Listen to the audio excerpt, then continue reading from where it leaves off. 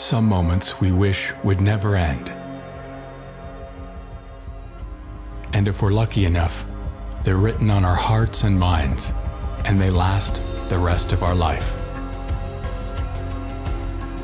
Come find out what you will remember.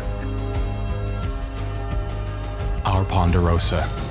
Memories are made here.